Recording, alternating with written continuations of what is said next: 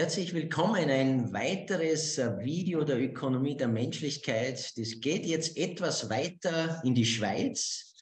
Was hat Ökonomie der Menschlichkeit mit der Schweiz zu tun, werden wir gleich wissen. Ich lese da jetzt, ist Unternehmer, Visionär, Entdecker und Legacy Maker. Was immer das heißt, ich kenne das nicht, er wird es uns sagen. Er war Topmanager in der Schweiz, äh, verantwortete jahrzehntelang namhafte globale Projekte in Milliardenhöhe. Und äh, ja, langer Weg, viel materielle Anerkennung, vielleicht wenig innere Erfüllung. Ob das so ist, wird er uns sagen. Herzlich willkommen, Andreas Dudasch. Ja, herzlich willkommen, Georg. Schön, dich zu sehen, ja. Es war ja eine wunderbare Überraschung, äh, als du aufgetaucht bist. Wir haben ja letztes Jahr eine Wanderung gemacht in Österreich, weg der Menschlichkeit, 888 Kilometer mit einem gemeinsamen Freund, der das begleitet hat, äh, der Gregor Sieböck. Und ich weiß noch ganz gut, in Gastein bist du aufgetaucht aus der Schweiz, habe nicht genau gewusst, wir haben mal nicht gesprochen dann, weil du am nächsten Tag wieder weg warst, denke ich mir, das muss eine ganz, eine ganz große Motivation sein, dass ein Herr aus der Schweiz kommt, extra um uns einen Tag zu wandern und äh, habe auch gleich gesehen, du kommst aus dem Management, du hast ein tiefes Bedürfnis. Magst du, Andreas, kurz sagen, wer du bist, wo du herkommst und ob das stimmt, dass du lange Zeit im Außen definiert hast und das Innen vielleicht gefehlt hat? Ja, genau. Uh, ja, sehr gerne, Georg. Das ist vielleicht die Frage, wo ich ein bisschen ausholen muss und viele andere Fragen oder Antworten ergeben sich dann automatisch daraus.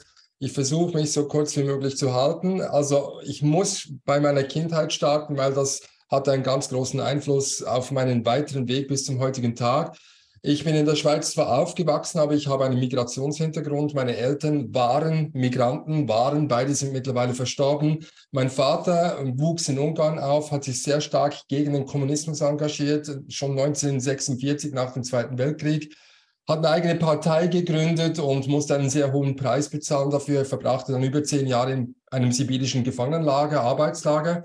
Er hat es zum Glück überlebt, kam dann in die Schweiz und musste sich wirklich ein neues Leben aufbauen. Und er hat mir immer so drei Erfolgsprinzipien mit auf den Weg gegeben, hat gesagt, Andreas, authentisch sein und bleiben, folge dem Ruf deines Herzens, deines Kerns oder deiner Seele, würdest du jetzt sagen, Georg. Ähm, sei geduldig und zeig vor allem auch Wertschätzung für die Andersartigkeit, weil jeder Mensch ist einzigartig. Also eben die Menschlichkeit in diesem Sinne. Wir sind alle einzigartig, haben dieses Recht, das auch zu leben, aber das heißt auch Wertschätzung zu zeigen. Und das hörte sich zwar einfach an als kleines Kind noch, aber dann fing es an, ich ging in die Schule, wurde gemobbt wegen meinem Hintergrund meines Vaters. Und wenn wir gemobbt werden, also sprich uns die Liebe entzogen wird, was tun wir? Wir ziehen uns zurück oder wir fangen uns an zu verbiegen. Wir sind nicht mehr authentisch, nur in der Hoffnung, geliebt zu werden. Und genau das tat ich. Und dann tat ich eigentlich alles in den nächsten, man kann fast sagen, folgenden 25 Jahren, um nur eins zu beweisen, immer aus der Angst nicht zu genügen, der Gesellschaft nicht zu genügen, den sogenannten Normen nicht zu genügen und geliebt zu werden, tat ich alles, was andere von mir erwarteten.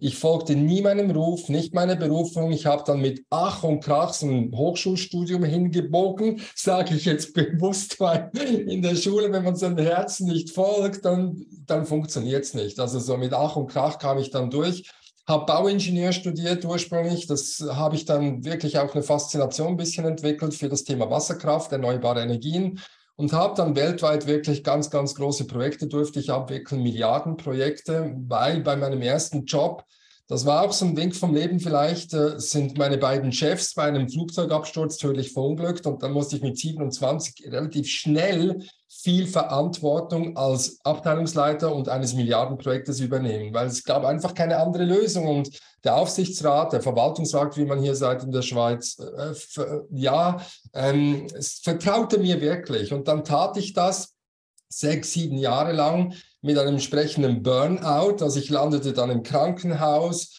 weil ich habe dann ja natürlich alles immer aus dem Kopf gemacht, mit Disziplin, mit mentaler Stärke, die, aber nie aus dem Herzen. Und so ging dann die Odyssee weiter. Ich wechselte dann den Job. Also das heißt, beim ersten Job in diesem riesen Milliardenprojekt hatte ich zuerst 20 Millionen Franken Verlust eingefahren, weil ich eben nie authentisch war. Und wie kann man Menschen führen? Wie kann man sich selber führen, wenn man nicht authentisch ist? Und ich zahlte einen hohen Preis, verbrachte einige Zeit im Krankenhaus, erholte mich wieder und habe mich dann nach diesem ersten Zwischenfall wirklich aufgerappelt, habe mich angefangen zu verändern, mehr auf mich zu hören, zu meinen Idealen zu stehen. Und äh, es wurde dann großer Erfolg draus, verließ dann aber Mitte 30 dieses Unternehmen und sagte mir so, tu endlich, was du tun willst oder was dein innerer Ruf sagt. Und das war immer noch nicht klar, denn es ging eine richtige Odyssee los. Äh, zuerst nach Norwegen, nochmals Weiterbildung gemacht, ein MBA, zurück in die Schweiz, in die Unternehmensberatung, dann bei der ABB. Und ich habe gemerkt, ich bin immer relativ schnell in Führungspositionen reingerutscht, in sehr verantwortungsvolle Positionen. Letztlich auch, ich sage es jetzt wegen meiner menschlichen Führung, dieser Wertschätzung von Menschen und wegen dieser Einzigartigkeit, die mich immer fasziniert hat am Menschen. Aber ich war sehr schnell einsam an der Spitze. Einsam in diesem Sinne, viele meiner Kollegen konnten diese Haltung nicht teilen, also wechselte ich wieder den Job. Ich habe mich dann 2010, nachdem ich wirklich fast die halbe Welt gesehen habe, das war immer ein großer Traum, in Entwicklungsländern zu arbeiten. Und da habe ich mir wirklich viel erfüllt. Ich war lange in Indien, in Pakistan, ich war im Iran, ich war in Bhutan, also wirklich faszinierende Länder auf meiner beruflichen Karriere gesehen, aber es war immer so, wie du richtig sagst, die Lehre. Es war immer das Suchen. Was ist denn meins? Was, wozu bin ich da? Was will ich der Welt zurückbringen, geben und was ist mein Potenzial? Und so habe ich dann 2017 nach verschiedenen Interimsmanagement-Jobs und so weiter wirklich beschlossen, so, nimm dir Zeit, hör endlich hin, und reflektiere, was sind deine Talente, was ist dein Potenzial, was willst du der Welt zurückgeben. Und dann habe ich ein Riesentalent entdeckt, eben Menschen zu zeigen, relativ schnell, welches ihr wahrer Purpose, ihre Berufung ist. Habe dann seit 2017 über 400 Menschen jetzt auf diesem Weg begleitet. Und dann kam in der Covid-Krise, sage ich, der größte, große nächste Weckruf 2022 das war auch der Auslöser, warum ich da mit euch mitgelaufen bin, unter anderem. Nämlich, ich habe mir gesagt, Andreas, es geht nicht mehr um dich. Es geht nicht ums Ego. Es geht um Menschen, es geht um unsere Erde. Und äh, plötzlich von einem Tag auf den anderen, ich, Georg, ich kann dir nicht sagen, warum und wie das passiert ist, kam so ein Impuls aus dem Leben raus, der mir sagt, Andreas, und das sage ich heute allen Menschen, mit denen ich zusammenarbeite, I am on mission for Earth. Ich bin im Auftrag der Erde unterwegs. Nicht für mich, nicht mein Ego, aber das brauchte auch lange Zeit mit vielen Auf und Ab. Mein erstes Unternehmen, das ich gegründet habe, selbst ging nach 18 Monaten bankrott. Ich weiß heute warum. Nicht, weil ich ein schlechter Unternehmer war zu dieser Zeit, sondern ich habe nicht auf mein Herz gehört. Ich bin mit meinem ganzen Vermögen, das nicht wenig Geld war, nach Indien, habe alles in die Solarenergie investiert und es ging in die Brüche. Warum? Mein, mein Herz sagte mir immer, Andreas, das ist nicht dein Ding. Und du kannst viel andere Dinge bewegen, aber nicht mit Solaranlagen auch Millionär werden, was letztlich auch so ein bisschen, ja, schon auch meine Intention war, erfolgreich zu sein, was Gutes zu tun. Aber das Universum hat mir gesagt, Andreas, vergiss es, stopp, das ist einfach nicht dein Ding. Und jetzt 2022, diese Weckruf, was passiert? Ich habe mir gesagt, okay, ich hole mir jetzt Menschen, die genau das, was ich durchlebt habe, und das sind nicht wenige, Georg, das sind ganz viele, nämlich Unternehmer, ähm, ganz vermögende Menschen zum Teil, die ich kennengelernt habe, die im Außen alles erreicht haben und ihnen trotzdem immer noch diesen Ruf spüren. Hey, warum bin ich da? Was will ich der Welt hinterlassen? Welche Spuren? Und wenn es nur ein Top-Banker ist oder ein Top-Banker ist, der nur Schäfchen hütet auf einer Alm und das sein Ding ist, dann hinterlässt er ganz andere Spuren, ja, als wenn er weiter in seinem Job drinsteckt. Und deshalb nenne ich mich heute der Legacy Maker. Also ich hatte wirklich, es braucht auch Mut rauszugehen und sagen, ich zeige euch den wahren, euren wahren Purpose und ich helfe euch, aus dieser immensen Kraft des Purpose ein Vermächtnis aufzubauen, welches euch erfüllt und die Welt von morgen positiv transformiert. Und seit ich so rausgehe, kommen auch Menschen zu mir. Ganz, also Wahnsinns Menschen, Persönlichkeiten, die wirklich auch Macherqualitäten haben und die sagen, Andreas, ich möchte diesen Weg gehen. Und jetzt gerade bin ich dran mit einem, mit einem ehemaligen super Spitzensportler, Weltmeister, der eigentlich, der hat alles erreicht. X Unternehmen noch gegründet, viel Geld verdient Und mit 40 sagt Andreas, ich habe keine Ahnung, wo die Reise hingehen soll, aber ich will was dieser Erde hinterlassen, was zurückgeben. Und mit ihm berührt, mich, berührt mich sehr, Andreas. Berührt ja. mich sehr. Und ist jetzt die Zeitqualität auch da? Das ist das, was ich ja immer fühle, dass vor 15 Jahren dieses Hinterfragen nach einem tieferen Lebenssinn noch nicht da war und jetzt ja. Kann man das so sagen? Das ist so. Also, wenn man vor zwei Wochen war in der Neuen Zürcher Zeitung ein Artikel, zwei, drei Wochen waren es jetzt, glaube ich, und da stand drin, dass 1,2 Millionen Menschen in der Schweiz innerlich gekündigt haben und auf Jobsuche sind. Man muss sich das mal vorstellen. Also nebst den großen, der großen Herausforderung des Fachkräftemangels, oder, den wir alle erleben in verschiedensten Branchen, sind Menschen, sie wachen auf. Dieses Thema Sinn, Purpose. Ja? Wozu bin ich da? Für wen will ich eigentlich arbeiten? Warum macht das Sinn für die Firma XY, meine Energie reinzugeben, wenn die Produkte und Dienstleistungen keinen Sinn machen? Und in Deutschland gab es vor einigen Monaten eine wunderschöne Umfrage, ich musste schmunzeln. Fast drei Viertel aller Verkäufer, die befragt wurden, sagten, also das Produkt, das ich verkaufe, würde ich selbst nie kaufen. Also eben das Thema Sinnhaftigkeit, Sinnfindung, das der Welt was zurückgeben. Ich sage, wir in unserer Kultur haben das Privileg, in der Maslow'schen Pyramide eigentlich ganz oben angelangt zu sein. Wir haben schon die Spitze erklemmt und die, die oberste Spitze nach Maslow ist ja Selbstverwirklichung oder eben Sinnfindung. Und dann geht es nicht mehr um uns, um unser Ego mit allen Ängsten und so, sondern wenn wir eines Tages spüren, wer wir sind und was wir der Welt zurückgeben wollen und warum wir überhaupt hier sind, dann spielen auch Ängste keine Rolle mehr, weil wir sind nicht mehr im Auftrag unseres Egos unterwegs, sondern im Auftrag von einer, von einem was ganz andere Kraft. Und, und dann kommt dieser, dieser, wie soll ich sagen, Beitrag, den wir auch leisten können und der uns zutiefst erfüllt letztlich. Ja. Wunderschön.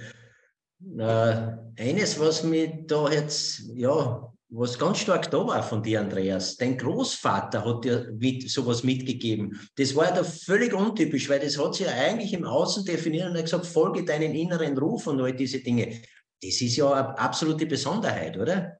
Ja, also es war nicht mein Großvater, mein Vater. Ah, Vater aber ja, aber trotzdem, ja, er hat das mitgegeben. Er hat immer gesagt, Andreas, die wichtigste Lektion ist leider sehr früh gestorben. Also ich war da 25 und er hat immer gesagt, Andreas, du musst einfach Authentizität, das ist das Wichtigste.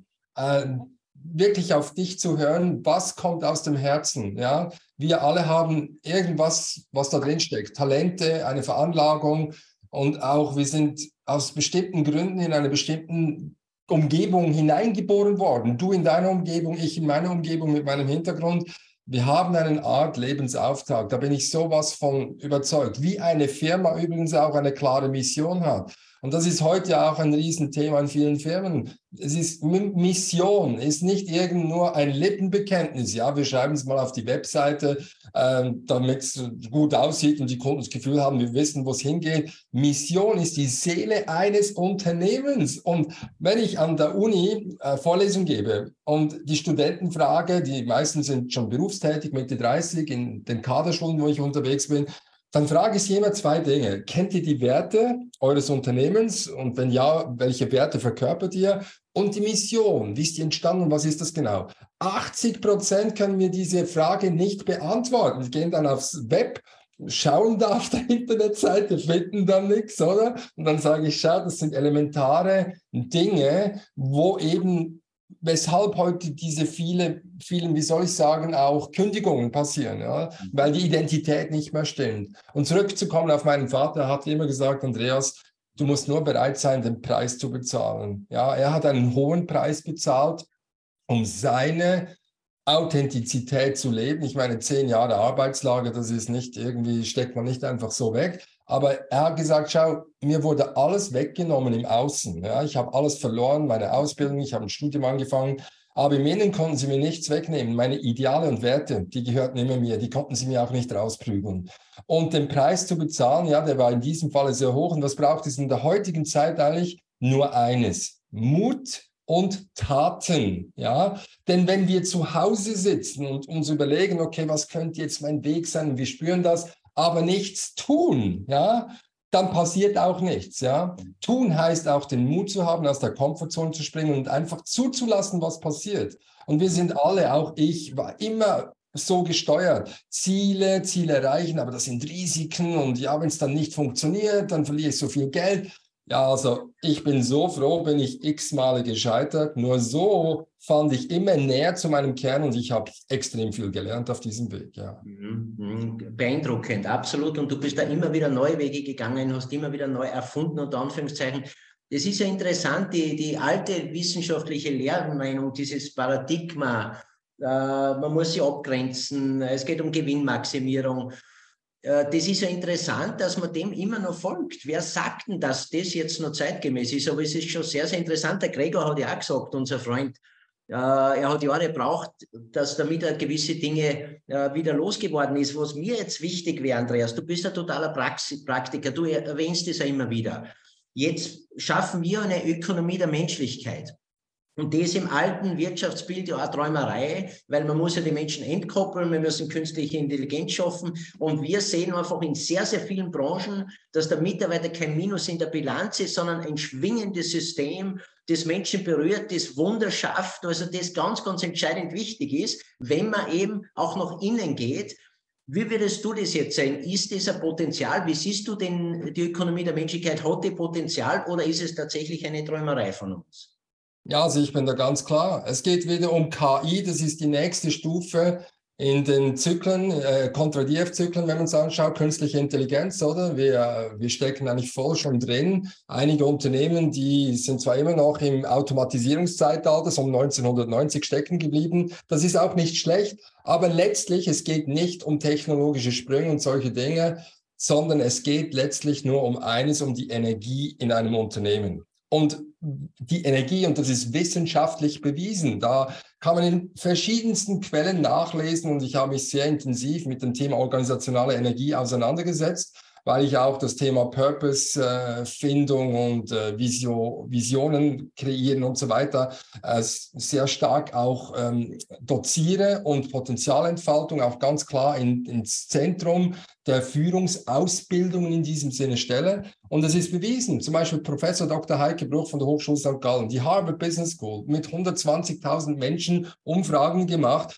Es kam immer zum gleichen, kam man zum gleichen Resultat, oder? Der Mensch ist der Energieträger, er füttert das Unternehmen mit Energie. Und es gibt eigentlich drei Energieebenen, ja, ähm, beziehungsweise dann die vierte, die daraus resultiert. Zuerst die mentale Energie, das ist die Kraft der Konzentration. Ich meine, ich frage dich, Georg, können wir uns heute noch konzentrieren? Das ist ein riesen Challenge. Wir haben so viele Aufgaben, verzetteln aber wenn wir dann mal unseren Purpose kennen, den Auftrag der Firma und auch Mut haben, dazu zu stehen und nicht ständig diversifizieren und uns fragen, wie sollen wir uns differenzieren und so weiter, dann kommt dieser Fokus. Dann der nächste Pfeiler ist die emotionale Energie.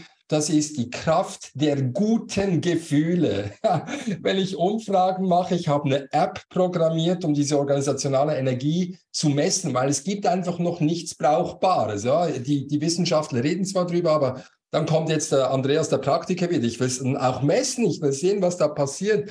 Habe ich eine, eine App konstruiert oder programmiert, basierend auf einer ganz simplen Umfrage, um diese Energieebenen zu messen. Und da sagen zwei Drittel aller Mitarbeitenden, Andreas, Kraft der guten Gefühle in meinem Unternehmen. Vergiss es. Ich meine, was ist die größte Kraft der guten Gefühle? Die Freude und Spaß zu haben. Und da sind wir beim Thema Berufung. Und das Verrückte ist, ich bin auch hier ganz klar, die Unternehmen realisieren jetzt, hey, wir müssen Mitarbeitende nicht nur finden, wir müssen sie halten. Und jetzt sehe ich schon Inserate und ich finde das gut, das ist super, es geht genau in die richtige Richtung. Wir bieten euch die Möglichkeit, dass ihr bei uns die Berufung leben könnt. Jetzt so einfach ist es eben nicht, oder? Ich hatte nämlich, ich habe einen CEO begleitet in einem Change-Projekt in einem großen IT-Unternehmen und dann geht er mutig raus und sagt vor der ganzen Belegschaft, also bei mir könnt ihr alle die Berufung leben. Und am nächsten Tag hat er über 20 Leute bei sich im Büro und der hat gesagt, ja, aber Beat, was ist denn meine Berufung? Und dann ein Programmierer haben wir dann rausgefunden mit Coachings und allem, eigentlich ist er der geborene Seelsorger. Also er hat immer gesagt, ich möchte eigentlich Priester sein, obwohl er ein brillanter Programmierer ist. Der CEO war clever genug, im Kern der Seelsorge zu erkennen, was er eigentlich braucht. Also sprich, er hat dann eine Academy gegründet intern, damit er dort seine seelsorgerischen Talente und auch dieses Begeisterungspotenzial leben kann. Also es ist vieles möglich. Und wenn es nicht möglich ist, dann lässt man solche Leute lieber ziehen, weil sie finden ein erfülltes Leben und das Unternehmen kann neue Energie aufbauen. Das ist ein völlig anderes, neues Denken und es gibt viele Wissenschaftler und auch wirklich Praktiker, die genau mittlerweile so denken zum Glück. Und dann haben wir die dritte Energieebene und das ist meine Lieblingsenergieebene, die spirituelle Energie, die Kraft der Sinnhaftigkeit. Und wir leben jetzt im Zeitalter der Sinnhaftigkeit, wo Menschen sich fragen, was kann ich als Beitrag für ein größeres Ganzes leisten. Das größere Ganze ist unsere Erde. Ich sage immer wieder, das ist mein Spruch, es ist fünf nach zwölf, aber noch lange nicht zu spät. Das ist mein Spruch. Also das heißt, es gibt ja viele Leute, die sagen, Andreas, vergiss es, eh vorbei. Was will ich im kleinen, als kleines Rädchen noch bewegen? Wir können als kleines Rädchen extrem viel bewegen. Wenn man so eine Maschine anschaut oder ein Uhrwerk, wenn ein kleines Zahnrädchen nicht funktioniert, funktioniert das ganze Uhrwerk nicht mehr. Also das ist die Kraft und die, die Energie, die wir reinstecken können. Und dann, last but not least, möchte ich abschließen, die vierte Energieebene ist die körperliche. Deshalb haben wir heute so viele Burnouts. Wenn wir keinen Spaß haben, den Sinn nicht finden, und letztlich uns auch nicht konzentrieren. Das heißt, viele Aufgaben lösen ohne Fokus. Dann haben wir das sogenannte Burnout. In der Schweiz hatten wir letztes Jahr etwa 8 Milliarden Schweizer Franken Gesundheitskosten, offizielle Zahl der Regierung, aufgrund depressiver Krankheiten. Letztlich auch, weil eben die Menschen sich verloren fühlen und auch mit Veränderungen nicht mehr umgehen können. Ja, Du, du überschlägst dich, Andreas, und das ist so, so toll. Und wir hätten gesagt, eine halbe Stunde, das ist einfach nicht machbar. Ich hätte x Fragen, aber was für mich jetzt ganz, ganz wesentlich ist, wir haben tolle Unternehmer, führe Gespräche, die sagen, ich möchte nicht mehr so weitermachen wie bisher, aber ich muss jetzt nochmal durchkämpfen und es gelingt über den Kampf nicht in die Freiheit zu gehen. Das ist definitiv so. Und wenn man dann ein paar Wochen oder ein paar Monate später spricht, die gleiche Situation.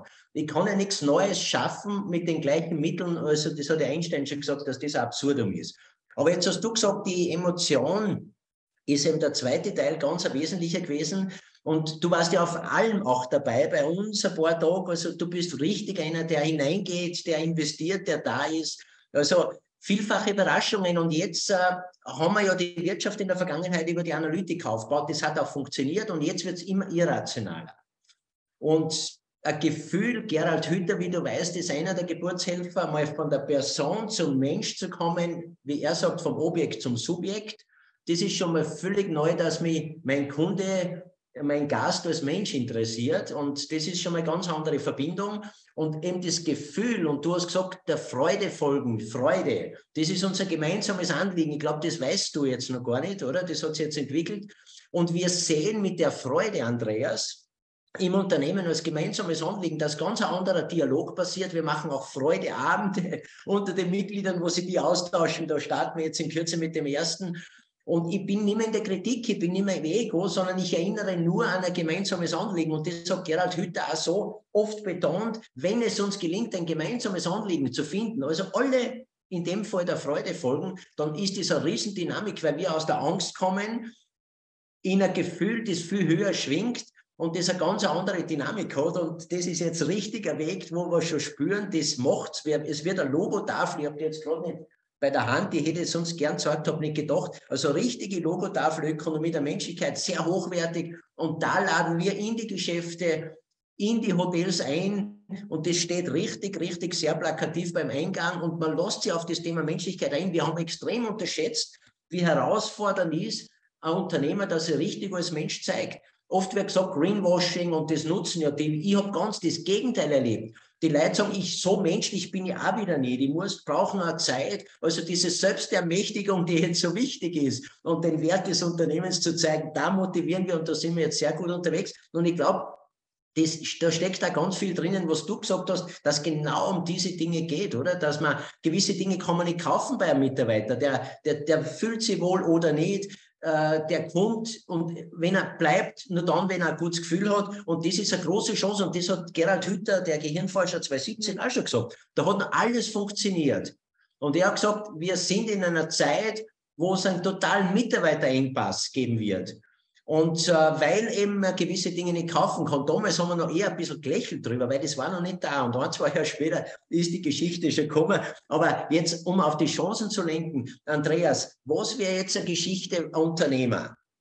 Der sagt, ja, ich möchte mich öffnen, es ist für mich neu, ich habe mich innen noch nicht reflektiert das ist eigentlich so ein offener Raum, der mir ein bisschen Unbehagen in dem Sinne macht. Und dennoch spürt man immer mehr, das braucht, das bringt uns weiter. Spiritualität wird von vielen, oh, was ist Spiritualität?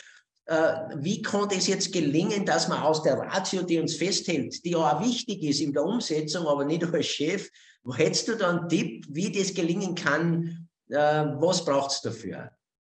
Ja, also ist ganz einfach. Und zwar die Antwort ist so einfach, wie sie dann auch komplex oder kompliziert tönt, nämlich es gibt zwei Dinge. Im lauten Getöse hören wir nichts mehr, oder? Also das laute Getöse ist die Komplexität im Markt, sind die sehr schnellen, radikalen Veränderungen, die stattfinden. Veränderungen gibt es immer und wir stehen erst am Anfang, behaupte ich. Die Finanzwelt, das Finanzwesen wird noch ziemlich arg durchgeschüttelt werden in den nächsten zwei Jahren, da bin ich überzeugt. Ähm, dann die ganzen Thematiken in der Umwelt, Nachhaltigkeit, aber auch soziale Unruhen werden zunehmen, weil die Menschen werden unruhiger. Je schlechter, dass es ihnen geht, jetzt mal überspitzt formuliert, desto mehr werden Dinge aufbrechen. Und das sind alles Einflüsse von außen, die jedes Unternehmen betreffen. Und dann kommen die Kunden, die einen gewissen Bewusstseinssprung machen. Das heißt, wir sind extrem gefordert. Aber in diesem lauten Getöse hören wir nichts mehr. Was heißt das? Die Stille suchen. Und da gibt es Menschen, die suchen einfach die Stille, also Top-Manager, die brechen dann aus und sagen sich, okay, ich gehe entweder auf eine Reise, und sie sind eine Reise zu mir selbst, um zu spüren, warum bin ich überhaupt hier? Was will ich? Will ich noch so weiter tun? Ich meine, im besten oder schlimmsten Fall steigen die Leute dann aus und tun etwas völlig anderes, weil sie sagen, ich bin nicht beim richtigen Ort zu diesem Zeitpunkt. Da muss jemand anders rein. Für mich gibt es jetzt eine andere Aufgabe.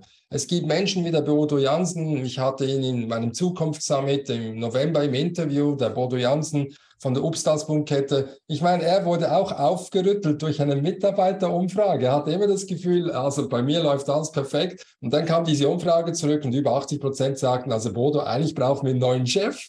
Und ich meine, er hätte gehen können, aber hat sich gesagt, nee, ich gehe ins Kloster. Ich reflektiere, ich höre mich hinein. Ich möchte mich verändern. Und das ist eigentlich, was ist Spiritualität? Spiritualität ist die Auseinandersetzung mit unserem innersten Kern. Nichts anderes. Das sind universale Gesetze wie die physikalischen Newtonschen Gesetze. Ich bin Ingenieur und Physiker. Ich meine, ich glaube an die Spiritualität genauso wie an die Newtonschen Gesetze. Das ist einfach ein Gesetz und Gesetze, die sind unumstößlich.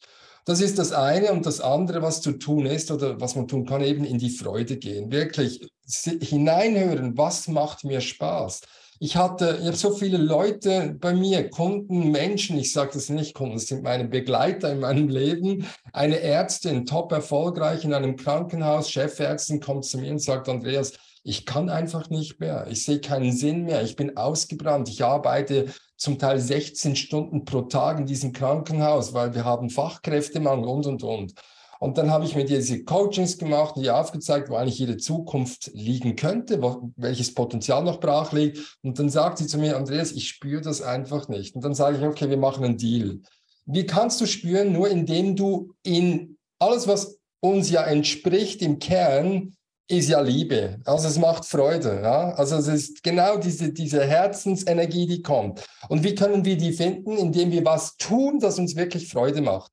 Und dann habe ich äh, sie zu uns in den Garten geschickt. Ich habe gesagt, ich suche schon läng länger eine Gärtnerin, die uns ein bisschen hilft da im Umschwung. Hättest du los? Und sie sagt, ja, super, solche strahlenden Augen. Und dann kommt die Tat, oder? Dann zurück ins Unternehmen und sie gesagt, so, ich nehme eine Auszeit, drei Monate, ich gehe jetzt Garten pflegen, Punkt, fertig. Und in diese Tätigkeit, die sie richtig von ganzem Herzen liebt, kamen dann plötzlich die Impulse und auch die Ideen. Es kamen Visionen für ihre Zukunft diese Frau hat sich in den letzten sechs Monaten völlig gewandelt. Sie geht auch mit ihren Mitarbeiterinnen und Mitarbeitern völlig anders um, weil sie es selber erlebt hat. Und wir können, Georg, auch nur geben, was wir selbst schon besitzen. Wenn du sagst, Andreas, ich gebe dir eine Million, dann sage ich, super, hast du sie? Dann sagst du, ja, sehr wahrscheinlich nicht. Also kannst du sie mir auch nicht geben. Und so ist es mit allen, mit unseren Werten. Wir sind Vorbilder. Wir können das geben, was wir haben. Und wenn es die Menschlichkeit ist, wie du es nennst, oder die Wertschätzung, die Freude, dann müssen wir es authentisch vorleben, jede Sekunde dieses Lebens. Und das ist meine Empfehlung, diesen Weg zu suchen in die Selbstreflexion, aber es kann meiner Meinung nach nur in der Ruhe, in der Stille passieren und nicht im Getöse des Daily Business, ja. Mhm, mhm. definitiv. Äh, da mit der Freude haben wir sicher ein ganz schönes Instrument, weil wir sind auch, Players, wir brauchen eine gemeinsame Erkennung auch in der Gesellschaft und wir wollen einen Freudeindex schaffen. Also du hast ja Bhutan erwähnt, einmal in die Gesellschaft zu fragen, wie geht es uns mit der Freude? Und das sieht im Moment gar nicht so gut aus. Aber um das geht es nicht, sondern wir wollen einmal ein Level haben. Und äh, das kann Glücksforscher sind wir schon mit einer Uni in Kontakt. Und dann sagen wir Unternehmer, Unternehmerinnen, helfen mit, dass die Freude in der Gesellschaft in dem Sinn mehr wird. Und das hat eine riesen Energie und da werden auch Medien dabei sein. Wir haben am 12. Mai also Unternehmerfrühstück, wo Journalisten, Medien dabei sind, wo es genau um diese Dinge geht. Und weißt was interessant ist? Wir haben einen ähnlichen, ich habe jemanden kennengelernt, der ähnlich tickt wie du. Der war sehr erfolgreich im Außen, hat lang für Playboy fotografiert, war in Amerika und hat richtig ja, Materie ohne Ende erlebt. Und desto erfolgreicher geworden ist, desto leerer ist er innerlich geworden. Und der war beim letzten äh, Geschichte, äh, beim Zoom dabei und hat ihm auch über Freude berichtet, dass die oft im Außen gesucht wird, aber nur im Innen findbar ist. Der hat ein bisschen den Eindruck gemacht, als wenn er Aussteigertipp war. Ist er überhaupt nicht, sondern er fotografiert jetzt aber authentisch, ehrlich, ohne irgendwas zu beschönigen und eben den direkten Ausdruck des Lebens als Mensch und nicht irgendeine künstliche äh, Person. Und das ist auch interessant, weil wenn du so erfolgreich bist, auszusteigen, auch bei dir, das ist eine absolute Herausforderung. Und da klopft dann irgendwer und die Seele, wie immer, schon sehr, sehr stark an. Und das ist jetzt der Zeitgeist. Und die Chance ist aus meiner Sicht viel, viel größer für die kleine Mittel, als wir jedes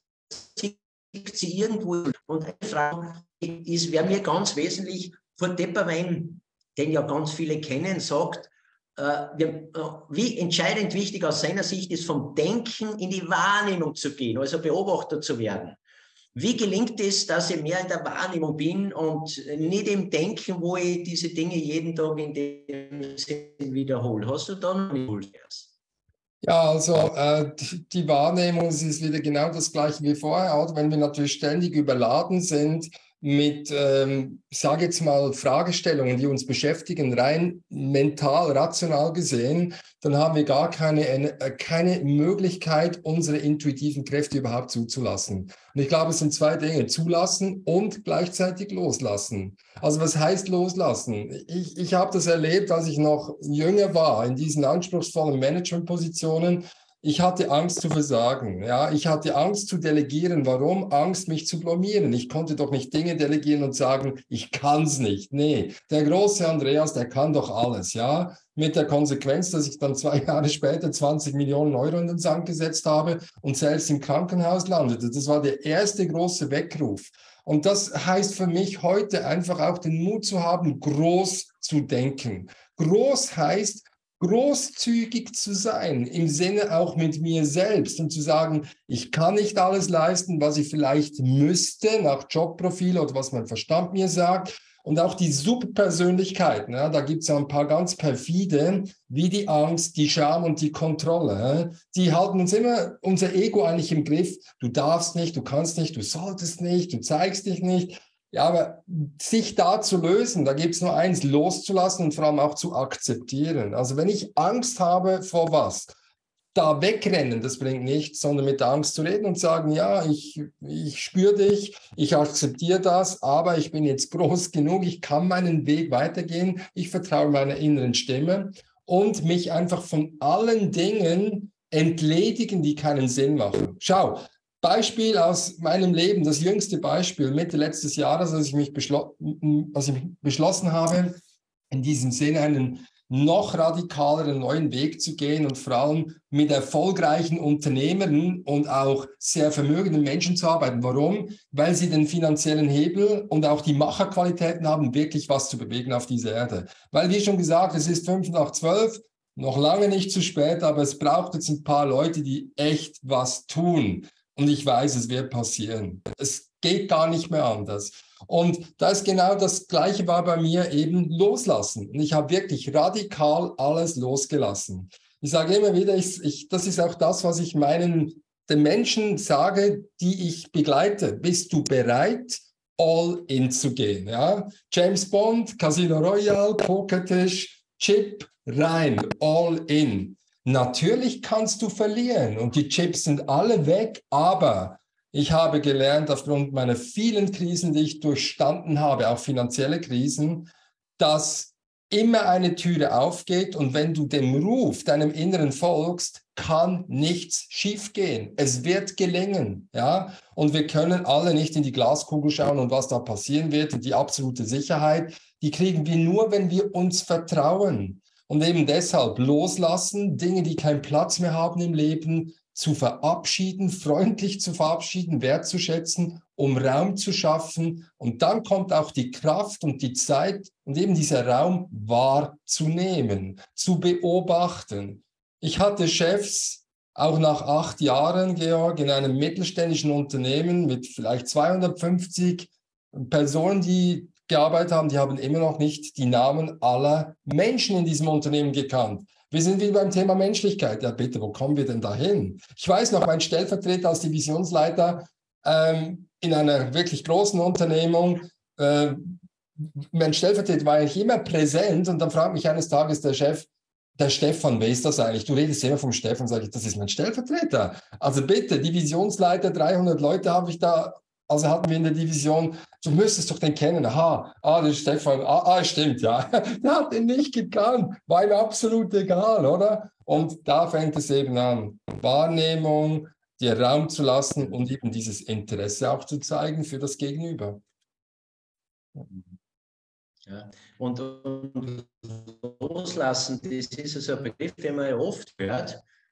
Äh, mir gelingt es jetzt schon sehr gut, aber es war eine lange Riesenherausforderung Herausforderung. Ich habe das Gefühl gehabt, habe ich auch, tue mich schwer, habe ich lange schwer getan, Menschen loszulassen, weil ich irgendwo dann traurig war. Und andererseits loslassen heißt ja auch, die Kontrolle aufzugeben. Und die Kontrolle ist ja bis dato bei vielen Unternehmen das Instrument gewesen, warum das Unternehmen funktioniert hat. Und ich möchte da wirklich, selbst wenn es nimmer geht, und irgendwo in die Sackgasse führen. Es gibt einen danach, wir wissen am Anfang vielleicht noch nicht, wo ist der Sinn, aber es ist dann wie eine Neugeburt und das hört man ja bei vielen, vielen Unternehmen, wenn man die größten Herausforderungen sind in der Nachbetrachtung, die größte Chance. Und eines, Andreas, möchte ich noch sagen, weil du ja mit sehr wirtschaftlich, monetär erfolgreichen Unternehmen zu tun hast. Mein Denken ist auch größer geworden. Ich mache jeden Tag in der Früh Atemverbindung. Übers Atmen kommen so viel Klarheit, so viel Verbindung.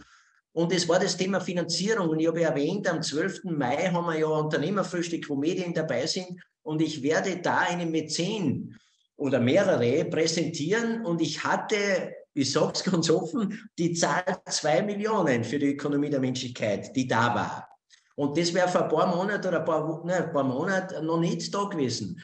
Richtig Geld, das unseren, unserer Zukunft, den Menschen im Land dient, dass wir als Gesellschaft der Zukunft haben. Und wenn einer viel Geld hat, diese Emotion und diese Dankbarkeit, die da zurückkommt, die kannst du mit x Immobilien und Erfolgsbeteiligungen an Unternehmen nie schaffen, sondern da geht es richtig um die tiefe seelische Berührung. Und ich habe auch schon die Emotion dort an dem Tag, wo wir diese Menschen präsentieren. Das wird eine sehr emotional, tief berührende Geschichte werden. Und da hat sich seit unseren allen Wochenende auch bei mir ganz, ganz viel getan, dass ich einfach spüre, das, das Geld darf dem Menschen dienen. Das, man darf was hinterlassen, was auch für die Nachwelt einfach einen Sinn hat. Jetzt könntest du vielleicht sagen, zwei Millionen sind eh nicht viel, aber in meiner Denke ist das schon ein schöner Betrag, wo ich ganz, ganz dankbar bin, dass wir finanziell unabhängig wirken können. Du weißt ja auch, Gregor, die Wanderung, wir haben minimalistisch gewirkt. Es war so ein großer Wunsch da, aber es braucht für uns alle Geld und sonst ist es eine Selbstausbeutung. Und das mache auch ich mit mir nicht mehr. Ja. Absolut richtig. Also Geld ist letztlich nur eine Form der Energie. Und äh, ich sage immer wieder, ähm, ja, gewisse Leute, die schauen noch auf den Return on Investment. Auch äh, gewisse Impact-Investoren, die ja wirklich tolle Dinge auch äh, tun und äh, Sustainable Funds, also nachhaltige Fonds äh, aufsetzen und so weiter. Aber es geht eigentlich nicht mehr. Also so aus meiner Warte als Legacy Maker sage ich, geht es nicht mehr um den Return on Investment, es geht um den Return on Impact. Das heißt, den Impact, den du tust, auch mit deiner Ökonomie für die Menschlichkeit, wird einen Return ergeben. Und dieser Return ist nicht monetär zu messen, weil es eigentlich überhaupt nicht in diesem Sinne ist nicht bezahlbar, weil es ist Erfüllung, es ist einen Beitrag zu leisten für Generationen. Und vielen Menschen fehlt ja diese soziale Anerkennung. Sie suchen ja immer nach sozialer Anerkennung auch, auch einflussreiche Menschen. Und genau das ist ein, ein Nenner, sage ich, von Return on Impact auch eine gewisse Anerkennung zu kriegen. Nicht, weil man sie im Außen sucht, sondern weil man dann wirklich fühlt, ich habe gelebt, ich habe den Sinn gefunden. Ich habe, ich bin in meiner Tätigkeit und in meinem Element voll aufgegangen, ohne überhaupt noch zu denken. Man fühlt es dann einfach. Das ist ein Return, der ist unbezahlbar. Ja, und auch monetär in diesem Sinne überhaupt nicht mehr zu messen. Und ich sehe das immer mehr, es spielt dann auch keine Rolle mehr, weißt du, sondern es geht dann wirklich um eine ganz, es geht um eine nächste Dimension von Größe. Ich habe das an mir erlebt, oder? Du strebst nach allem und ich habe wirklich fast alles erreicht im Außen, kann man sagen. Ich habe drei Studienabschlüsse und bla bla bla, ich muss das nicht alles runterbeten. Aber letztlich ist es schon groß. Aber die nächste Dimension von Größe, das ist echt, wenn man spürt, hey, ich bin in meinem Element, und ich habe der Welt etwas zurückgegeben, was für mich passt. Deshalb philanthropisch unterwegs zu sein, das ist toll. Aber wenn, man, wenn wir die Philanthropie oder dieses Impact Investment noch mit dem eigenen Purpose in Einklang bringen, dann hast du eine so gewaltige Power. Dann bewegen wir wirklich ganz Großes auf dieser Welt. Da bin ich überzeugt. Ja. Du, Andreas, ich bin ein Fan von Spontanität und du warst ja im Spital auch beim Finale dabei, da war Joachim Schaffer Suchomel. Wir machen also einen Online-Impuls mit ihm äh, zum Thema Sprache, was macht die Sprache etc. Und ich habe jetzt richtig das Bedürfnis, und das wäre jetzt konkret die Abschlussfrage, wärst du bereit, für Unternehmer, Unternehmerinnen in der Ökonomie der Menschlichkeit einmal eine Stunde zu machen, ja, genau für diese Themen. Wie finde ich meinen wirklichen Weg im Leben? Was braucht es in dem dazu? Ich sehe ja schon viele Unternehmen, die folgen schon der Freude. Die haben ein tolles Produkt, Dienstleistung, also unser Schneider zum Beispiel, neunte Generation und viele andere. Aber es ist oft anstrengend. Es ist oft wiederholend. Sie dann sich oft ganz schwer, sie Räume zu nehmen, nochmal rauszugehen, was so wichtig wäre. Und wenn sie es dann tun, tut es ja extrem gut und die sind ja dann immer wieder dabei. Und der Weg der Menschlichkeit, der wird da entstehen, wo die Meetings im Freien da machen, was der Gregor äh, so wichtig wäre. Es entsteht viel, aber konkret wärst du für so einen Online-Impuls, wie immer der ausschaut, müsste man noch definieren, grundsätzlich bereit, um den Unternehmer dein ganz, ganz großes praktisches Wissen weiterzugeben. Ja, also jederzeit. Ich habe in der Vergangenheit viele Webinare gegeben. Ich habe zwei große Summits online organisiert, einen zum Thema Berufung, der andere zum Thema unter dem Thema Zukunft Summit.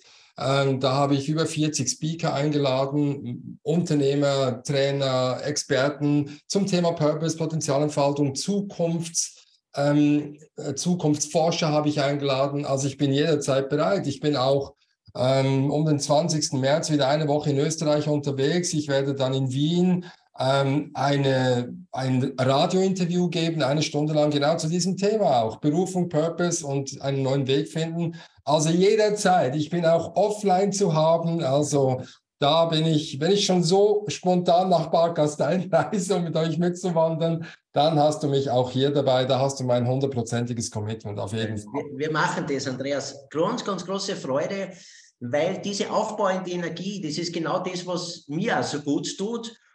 Wenn man nicht mehr in der Angst ist und nicht mehr in der alten Welt, die blockiert, sondern du strahlst so viel Freude aus und eine Leichtigkeit. Und genau das ist, glaube ich, die ganz große Inspiration. Wenn wir den Weg der Freude folgen, das lebst du. Andreas, vielen, vielen Dank. Bis auf weiteres, mein Freund. Ja, bitte gern geschehen. Ich danke dir. Vielen Dank und viel Erfolg. Ja.